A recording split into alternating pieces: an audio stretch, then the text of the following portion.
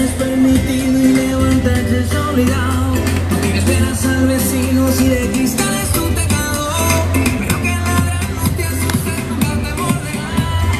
Con la bendición de tus ancestros llegará.